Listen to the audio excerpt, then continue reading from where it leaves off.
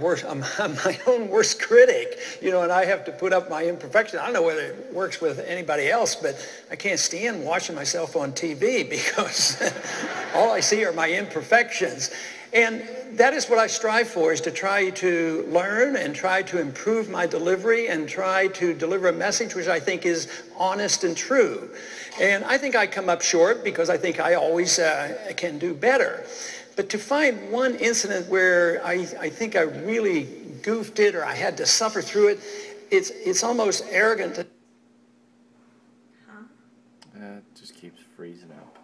Think that I can't find any one thing if I'd have only done this, things would have been much better off. So I have been so pleased, you know, to be able to uh, participate in the great debates of our country and to be uh, able to practice uh, medicine.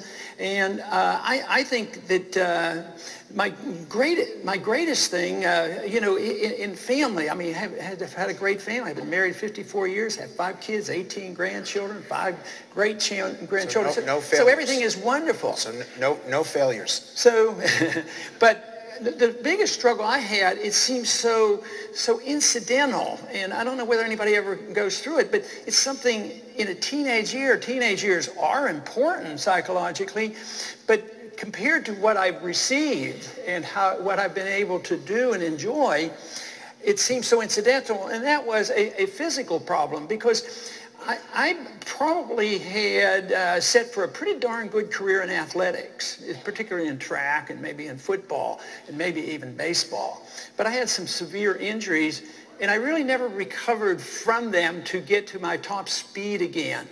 And that was a problem for me. And a teenager, I think maybe we can understand it as a teenager, but you know, now that I look back, why was such a big deal for me? But it was a big deal for me, but I think I overcame it. Anybody, you don't have to answer this question, and we only have limited time.